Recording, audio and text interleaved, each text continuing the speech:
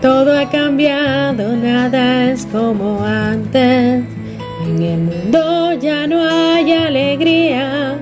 La noche cae, las calles vacías.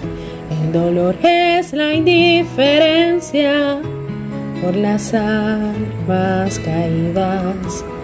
Pedimos ver la luz para que todo esto acabe.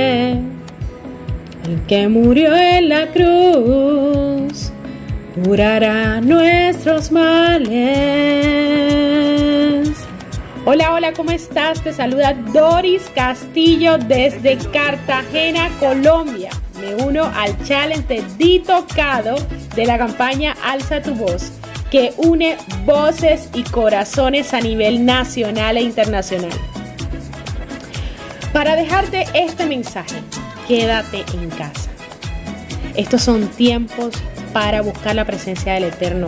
Estos son tiempos para pedirle misericordia. Estos son tiempos para activarnos, para elevar nuestra conciencia, para corregir nuestra alma. Estos son tiempos para guardarnos. El pueblo de Israel en muchas ocasiones se guardó porque el Eterno les mandaba, hay tiempos para todo, hay tiempo para guardarse, hay tiempo para salir, hay tiempo para todo y este es tiempo de guardarte, porque los que te aman te necesitan. En este momento nomino a continuar este challenge a mi amiga Carolina Lindo.